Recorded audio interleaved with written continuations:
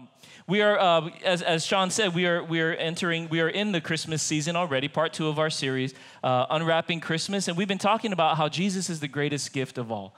And really, what does that mean? Because sometimes we can get caught up with the, the trappings of the season, the decorations, the parties, the fun, and all of that is, is great and it's amazing and we should enjoy it. But it's also meant to remind us of what God did for us in Christ. So that as we, as we culminate this year really with Jesus, we can begin the next year living in the light of, of the revelation of who Jesus is in our lives because that's where the power comes from. It doesn't come from just coming to church, but it comes from understanding who God is, what He's done in our lives, and letting that now live through us in our day to day interactions. And that starts by remembering who Jesus is. And, and uh, you know, that's really the greatest gift of all. And uh, so tonight, as we continue our series, we're going to do that. But before we do, I can't, you know, Christmas is really, it's nine days away. I don't know if you realize this. And um, if you haven't finished all your Christmas shopping yet, I have a tip for you.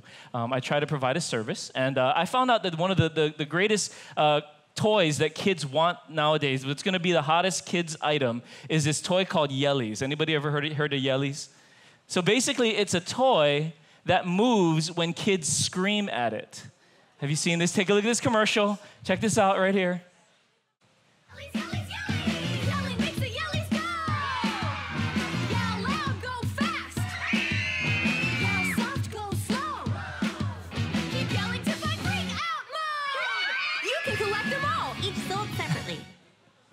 When I saw this commercial, I thought it was a joke, but it's real. And I am convinced that the person that invented this has never had a child. and they may have never even seen a child because the last thing you want is for kids to be screaming all the time. So, give this to someone that you love or hate, which, whichever. And if you hear kids screaming in your neighborhood, that's, that's probably why. Um, the worst gift ever. Amen. Wouldn't you agree? And if anyone sends me yellies, you will be kicked out of the church forever. That's all I'm saying. I'm just kidding. I'm just kidding. Um, but the greatest gift ever is Jesus. See how I did that? See, that was the whole point of that right there. Worst gift ever, greatest gift ever is Jesus. And the, the passage that we've been looking at throughout this series, or in this series, is found in Isaiah chapter 9. And uh, it's, a, it's, it's a prophecy that the prophet Isaiah gave about the coming Messiah. And if you were here last week, you remember that at the time, Israel was going through a really rough several hundred years. They were being oppressed by invading armies all around them. Their kings that were supposed to lead them into following God and obeying God were, they were immoral and they were leading them down a dark path, leading them really into God's judgment for worshiping idols and all kinds of other things. And so they were in a very desperate place. Is there any hope for us? Is there any hope for our future? Is there any hope for my kids? Is there any hope for my life. That's what they were crying out for. And in the midst of a hundred years of oppression, the God gives the prophet Isaiah this word about the Messiah, the Savior who's going to come. And we know several hundred thousand years later that his name was Jesus. But this is what it says about the coming Messiah. And this is where we'll begin this evening. For to us a child is born, to us a son is given, and the government will be on his shoulders. And he will be called Wonderful Counselor, Mighty God, Everlasting Father, and the Prince of peace. Last week we talked about how Jesus is the wonderful counselor, and tonight we're going to talk about the fact that he is the mighty God. And when you think about the fact that they needed this kind of hope. Well, what is the hope that, that, that God is, that the Messiah is going to bring? Well, one of the things that we recognize is that he is not just a prophet, he's not just a teacher, he is, in fact, the mighty God. And in your notes here, it says this Jesus is creator of all, light to all, and Lord of all. He's the creator of all. And we touched on this last week if you were here. But he also wants to be the light to all and a Lord and the Lord of all. Let's look at what it says here in John chapter 1. In the beginning was the Word, speaking of Jesus, and the Word was with God, and the Word was God. He wasn't just, you know, uh, a force. He wasn't just, you know, an idea or a good teacher. He was God. He was with God in the beginning. Through him, all things were made. Without him, nothing was made that has been made. In him was life, and that life was the light of all mankind. Light shines in the darkness, and the darkness has not overcome it.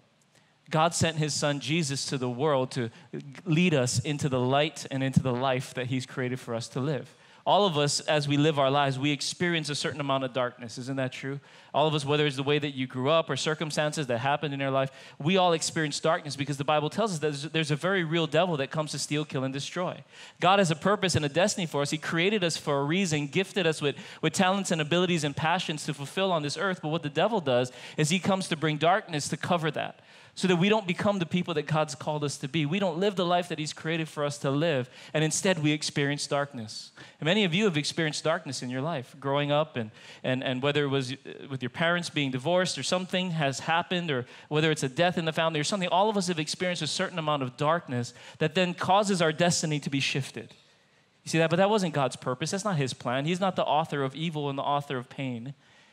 That's what, that's what the enemy's doing. But here's what God did he looked down from heaven and saw the state of humanity broken and in darkness. And he said, I'm going to send my son Jesus to be the light of the world, to lead people into the life that I've created for them to live.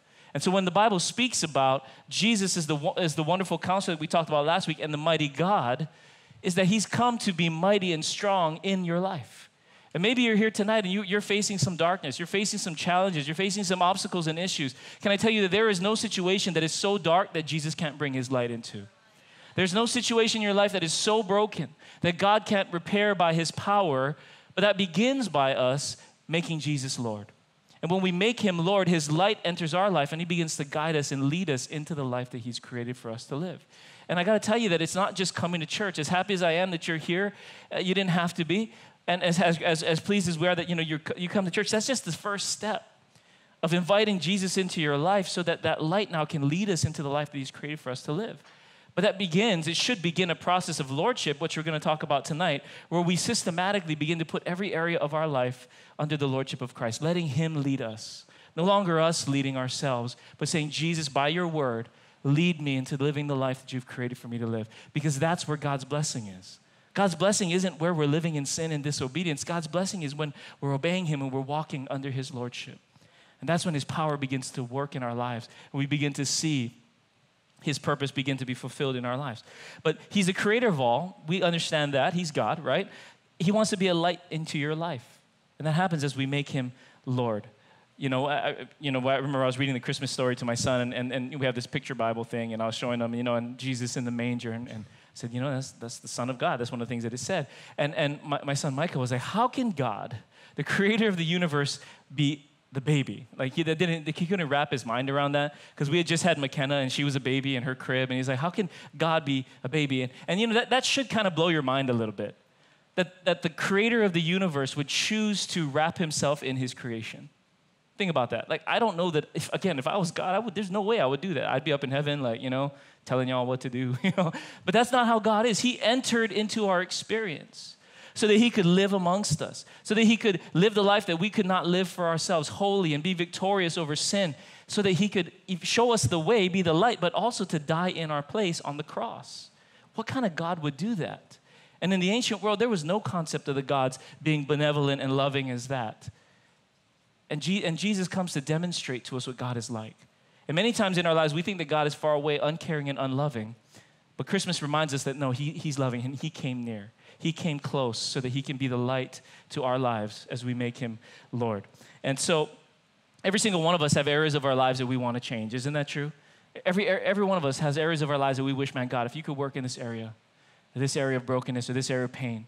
And maybe some of you can think of people that you wish would change right? Amen. Don't hopefully don't they're not sitting next to you.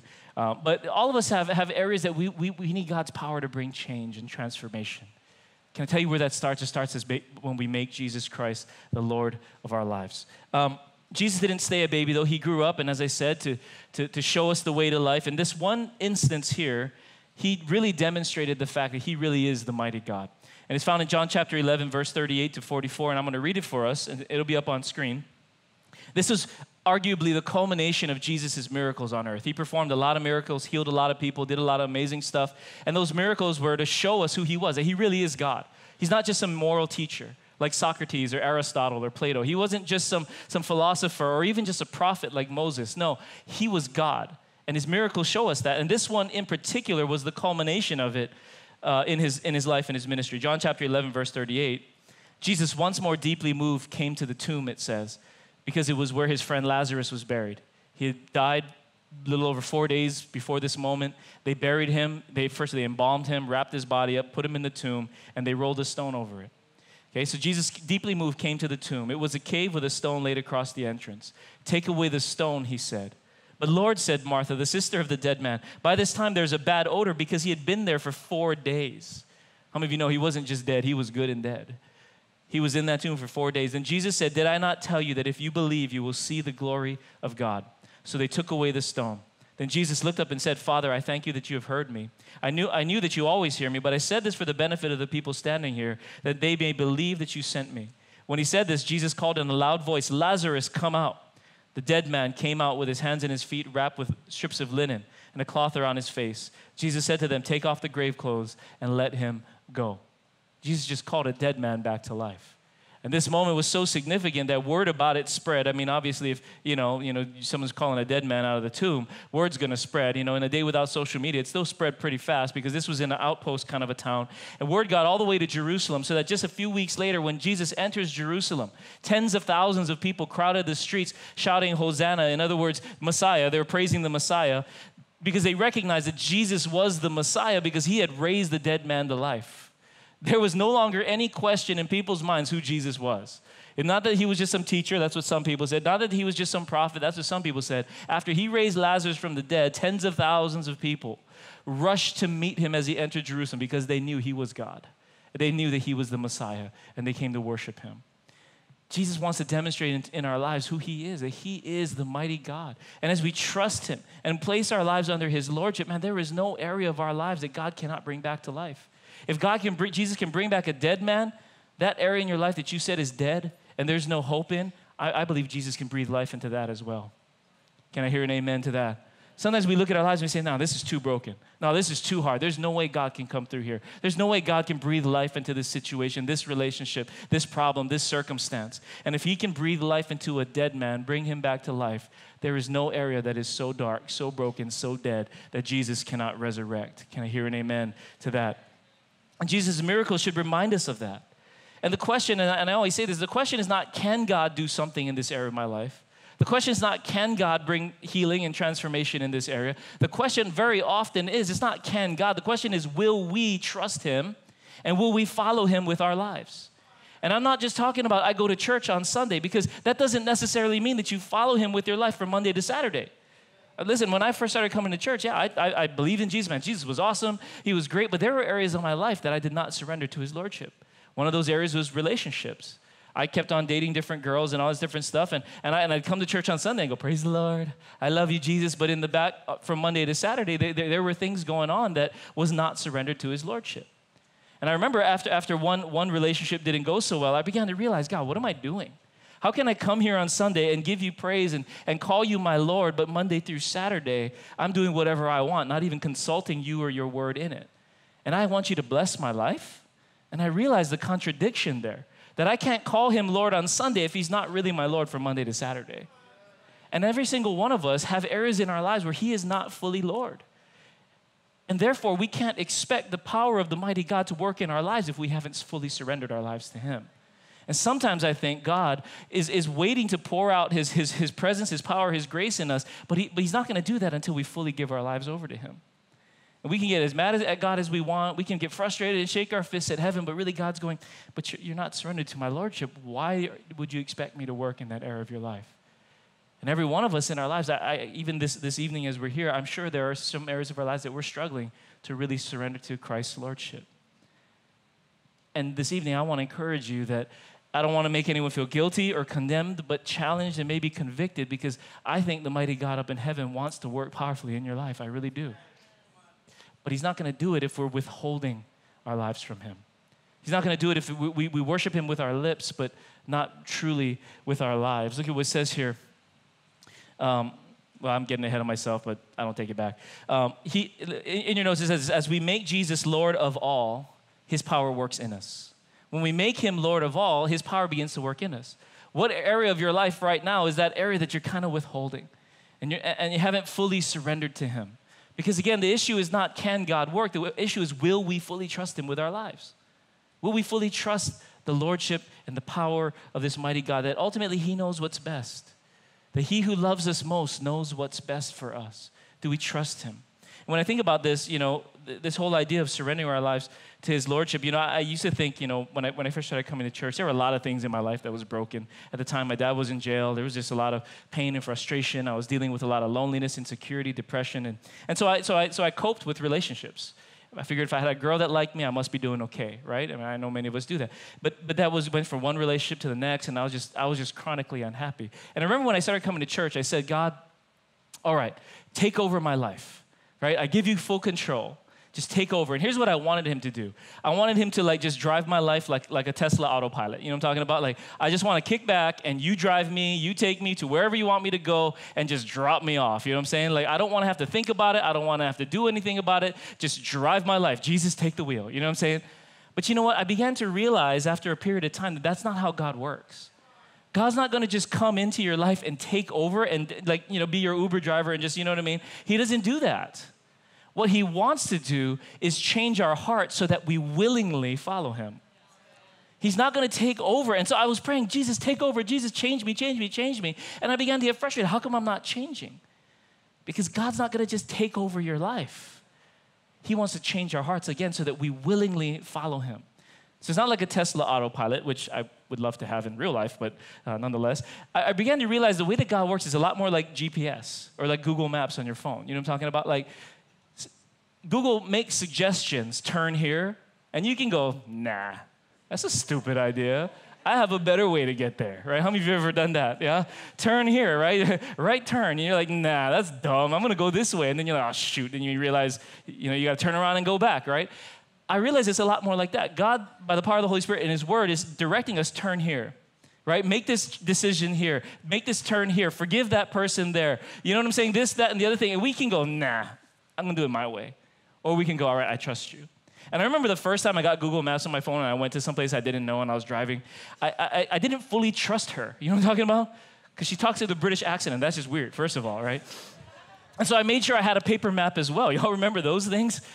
Yeah, I know. Anyway, there's, there's, this book. It was a map of everything. And I made sure I had that and I double checked. I just wanted to make sure, the Google, you know where you're taking me.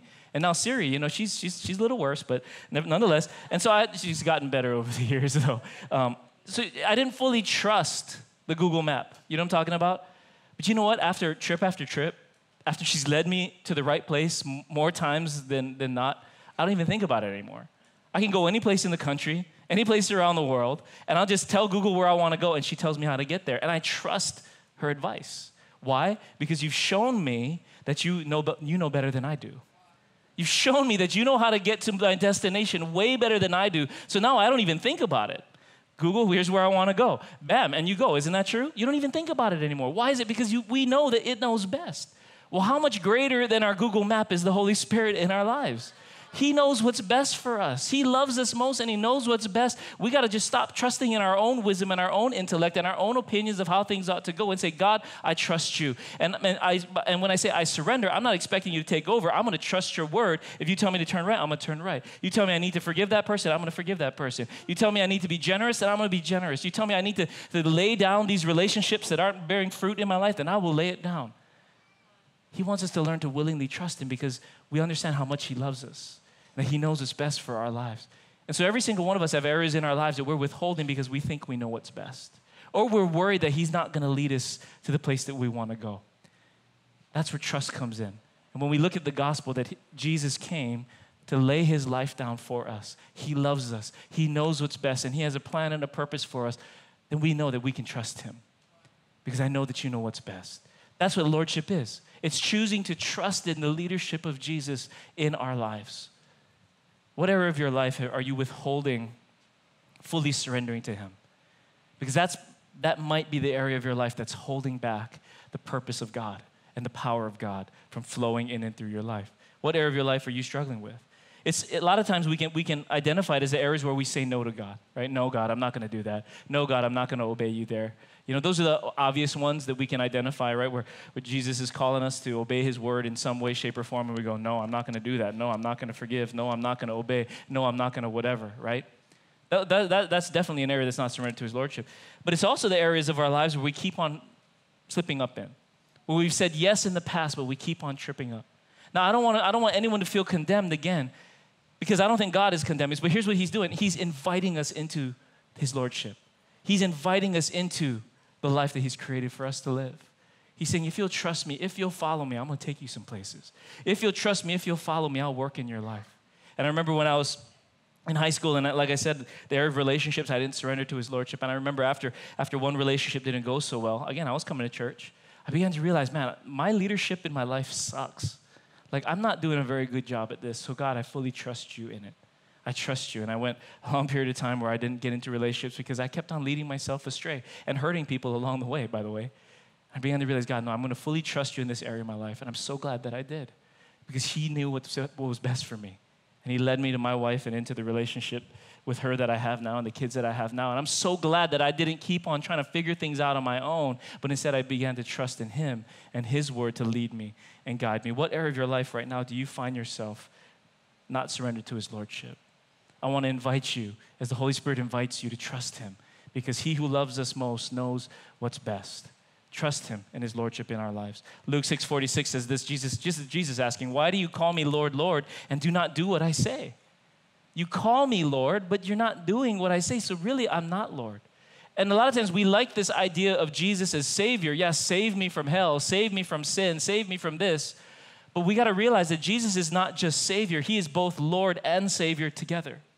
We can't separate the two. We can't say, I love this Savior part, but this Lord part, huh, man, I'm not too, too fond of that because, you know, because of this area of my life that I don't want to change and that area of my life that I don't want to change. Well, here's the reality. If we don't make him Lord, then he's not Savior neither. You follow, you follow me? If he's not really your Lord, then he's not your Savior. And then we can't get mad at God when he's not doing what you want him to do. He's not your Lord. He's not your Savior. What, what are you mad about? If you want to be your Lord, then great, do things your way. But if we trust in him as Lord, he will also be Savior. He's both and. Amen. Jesus said, Why do you call me Lord, Lord, and do not do what I say? He's got to be both. So he first wants to work in us. And that's where we begin. That's it just starts where we trust him. And again, he's not, he doesn't want to force us into obedience. He wants to invite us into the life that he's created for us to live. He's inviting us into his lordship because that's where his power lies. And then, secondly, we see as we make Jesus Lord of all, his power works for us. This is awesome. This is the stuff that we want. We want him to work for us. We first have to let him work in us. 2 Corinthians 12, 9 to 10 says, But he said to me, My grace is sufficient for you. My power is made perfect in weakness. Therefore, I will boast all the more gladly about my weaknesses, so that Christ's power may rest on me. That is why, for Christ's sake, I delight in weaknesses and insults and hardships and persecutions and difficulties. For when I am weak, then I am strong. What is the Apostle Paul talking about? He's writing this from a jail cell that he was put in for preaching the gospel. And he recognized these circumstances that were outside of his control to the natural seem horrible, right? You're in prison for preaching the gospel. That's terrible. That's not fair. These are circumstances far out of his control. But he began to recognize something that God, you're doing something greater, even that, though what I can't see here. And as he continued to surrender to Christ's lordship in the matter, God began to use what seemed like a bad situation for the good. And that's what he's talking about here. Even when I am weak, God, you show yourself to be strong in my life. Even in these bad circumstances, you orchestrate it and you turn it around for my good. And we can trust, even in the weaknesses and in the trial, that God is working for us. What situation in your life are you, you walking through where you need God to work for you? You need God's power to show up and begin to work in certain things that we can't control on our own. I remember when I first started coming to church, as I shared, you know, I was, I was learning to follow Christ and His Lordship. And one of, the, one of the major situations, if you've been around for a little while, you probably heard the story already, but my dad was in jail. And, I, and, I, and I, he was a drug dealer, and my whole life, I didn't really want anything to do with him. And at this point, I started coming to church. I started trusting in Christ's Lordship. But in, but in my heart, I was like, I don't want anything to do with my dad. I didn't expect to ever see him again. I didn't expect anything to happen with our relationship. I just kind of given up on it. It was dead. You know what I'm saying? It was Lazarus in the tomb. You know what I'm saying? I'm not going to have anything else to do with this. It's done. It's over. And, and I forgot all about it for a good long time. But as I began to grow in my relationship with God, different leaders and pastors and other men were telling me, you know what, you should start praying for your dad. I remember the first time they told me that, I was like, I ain't praying for him. He needs to pray for himself. You know what I'm saying? That's what was going on in my mind. You know, I ain't praying for him. But that was an area I needed to surrender to his lordship, this issue of forgiveness. And I remember one of our, my youth pastor at the time, he told me, You need to forgive him. You need to forgive your dad. And I was like, Forgive him? He's never said sorry. You know what I'm saying? He's never, and in my mind, I'll, I'll forgive him. This way, I, I, I think I said this out loud over the phone. I'll forgive him when he grovels on his hands and his knees and begs for it. That was what was going on in my mind. That area of my life wasn't surrendered to the Lordship of Christ. So my pastor met with me and he showed me scriptures about forgiveness. I was like, I don't like that. You know what I'm saying? Like, I need to forgive him? No. I need to forgive him, even though he's never asked for forgiveness. And then I remember this one particular moment, he, this pastor he shared with me, he said, You know, you realize that God offered his forgiveness to you before you asked for it. Jesus died for you before you asked for it. He, you never asked for him to die for you, and he offered his forgiveness to you before he asked, you asked for it.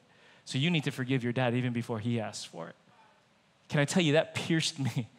Because that era of my life was, I had said, no, I'm not, I'm gonna do this my way. I'm not gonna forgive him. And I don't care what your word says, I'm not gonna forgive him. But I had to wrestle with that. And some of you are wrestling with some areas of your life right now. But as I, as I did, and I chose to say, All right, God, I choose to forgive. I choose because your word says so, not because he asked for it, not because he deserved it, but simply because this Bible says so, then I'm going to do it. And I chose to forgive him. And I chose to read him over and over and over again in my heart and out loud. And you know what God began to do? He began to work for me in ways that I had never expected. He began to work in my relationships around me. He began to work in my dad, and I had no idea. And I tell the story. I got a phone call one day, and it was from Halawa Prison where, where my dad was. And, and, and, and this, is, this is now months, probably several months, if not a year after I had decided to forgive him. And he called and he apologized. He said, Son, I'm sorry for all that I did to you and your mom. And I want to let you know I gave my life to the Lord here in prison. And, and I'm sorry and I love you. You know what I mean? Years, about, you know, months later, probably about a year later, after I made that decision to surrender this area of my life to his lordship, God began to work for me. And now, fast forward from that moment on 10, a little over 10 years later, we began to reconcile and we have a great relationship today. And many of you know he works on our staff as our operations director here in the mornings. God has done stuff that I could never do for myself. And I'm convinced that if you'll surrender your life to the Lordship of Christ, there are things like that, testimonies like that, that God wants to write in your life. Stuff that you've said, no, it's dead, it's buried, the stone's rolled over, it's over. God can't do anything with this. If you will surrender to the Lordship of Christ in every area of your life, I'm convinced that there is nothing in that tomb that God can't bring back to life. And maybe you don't even want it to come back to life right now. I didn't really want it to come back to life. But you know what? I'm so glad that God did. Because my kids now have their grandfather. I have my dad around. And many of you have areas of your life that are so broken, so dead. God wants to breathe back to life, but He's waiting for us to surrender to His Lordship so that He can work for us. Can I hear an amen to that? Whatever of your life tonight, do you need the power of God to breathe His life into? Next week, Sunday, uh, at Christmas service, you're going to hear live uh, the testimony of one of our young adults, uh, Jansen Ukal. He shared with me this morning at, at 11:15, and you'll hear him live next week. Um, but he, you know, went had a lot of trauma as a young kid.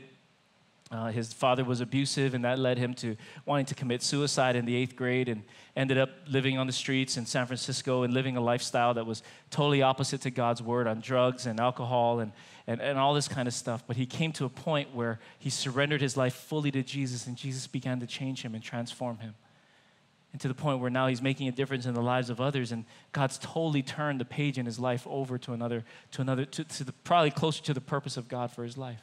The devil wanted to destroy him when he was young and god said if you'll trust me i will fix all of that. I will restore all of that. And you'll hear him live next week so that's a little commercial. But what area of your life do you need jesus to breathe his life into? Do you need the mighty god to show up? Surrender to his lordship and i'm convinced that you haven't seen anything yet as we make Jesus Lord of all, his power works in us, it works for us. And then thirdly, his, his, power works through us. His power works through us, right?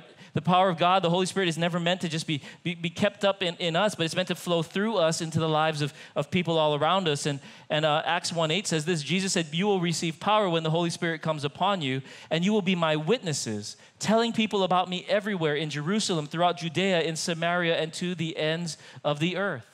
You will receive power when, you, when, you, when the Holy Spirit comes upon you, when you receive Jesus, and you will be my witnesses. That word witness in the original language means a living demonstration. You're going to be a living demonstration of my love to people everywhere, showing people everywhere the love of Christ. See, the power of God is not just meant to change us, as awesome as that is, it's meant to flow through us like a river. Not like a, a lake that just contains it all, but a river that flows through us. And I've, and, I, have seen it, it's, it's like a cycle, right? We let Jesus work in us, we let him work for us, and then he works through us, and then he continues to work in us, for us, and through us. And this is this ongoing cycle of the Holy Spirit working in and through every single one of our lives. But that starts when we say, Jesus, I'm going to trust you fully, every area of my life. I'm not going to hold anything back from you anymore. And tonight, as we, as, we, as we journey on in this series, what is that area of your life that you've been holding back from God? And again, I don't want anyone to feel condemned, but challenged. That the Holy Spirit is inviting you into a deeper walk with Jesus, a deeper walk in His power, a deeper walk in experiencing His love and His power in and through our lives. God's power has to work through us because, as great as, as the Christmas season is for a lot of people, you know, we're celebrating, we're having a lot of fun. It's also a tough time for a lot of people, isn't that true? Because it just reminds us of what we don't have very often. It reminds us of the pain and the, and, and, and the loss and, and, and the stuff that's going on in our lives. And you see pictures of people and what they're doing on Christmas time. And th- this was me. Man, I'm so glad I didn't grow up with social media, by the way, because when I was in high school, it wasn't a good time. Christmas was not a good time. I think I shared this with you guys before, but I remember my, my dad was in jail. I had just started coming to church, and my mom, uh, she tore her ACL when she was in the mainland skiing. So she ended up staying in the mainland with her boyfriend for like, I think it was like six months. And part of that time was during Christmas time. So I was home by myself. And there's this one Christmas I was home by myself, just me and my dog, Cleo. She's a poodle. Anyway, uh, just me and my dog. And I was feeling so sorry for myself. And I, I, just started coming to church. I was like, God, why am I going through this? Why am I alone? Why is all this happening? I'm trying to follow you. I'm trying to give my life to you, but why, why is it like this? And I was so sad. I went to, I went to Daiei, bought a Christmas tree by myself, set it up by myself, bought my dog a gift. And we sat there Christmas morning, open presents, just me and my dog. I know, sad. But it made me, but it, but, but, but it, it was tough. And it was a really dark time and I thought about, you know, years when I was when I was a kid, how great it used to be, and now how crappy it is. I remember when I was five years old, before my parents got divorced, before my dad got arrested, and how great Christmases were, and now how terrible it is. And I thought, God, this sucks. There's a lot of people like that. Maybe some of you right now. Christmas isn't a great time for you. This is really difficult time. Can I tell you that even that may be where you are right now? If you trust in His Lordship, that's not where you're going to be down the road. God will take this and He will turn it, and He will, you, it's just the beginning of what God will do in your life, but you got to start trusting in Him. So I remember I was feeling all sorry for myself, opened Christmas presents with my dog. I didn't have very many, but one of those Christmas presents was a Bible. My pastor gave me a Bible, a brand new Bible. And I felt like the Lord say, This is what this is about. Start with me, make it about me. And as you trust in me, this is the last Christmas you're going to have to go through this. And it really was. That was the last time. And from then on, God began to do an amazing work in my life. And I'm convinced it's not just because of me, I'm nobody special. He wants to do that in every single one of our lives if we'll trust in Him. His power wants to work in us, for us, and through us. But it starts when we look at this word and we say, All right, yes, Jesus, I'm going to trust you. Yes to your word. Wherever you tell me to turn, I'll turn. Wherever you tell me to go, I'll turn. You want me to make a U turn? I'll make a U turn. I don't understand it, it doesn't make sense, but I trust you that you love me and you know what's best for me. I surrender to your Lordship in every area. As you do that, watch what God does in your life. I promise you, this is just the beginning if you'll begin to trust in Him. Amen.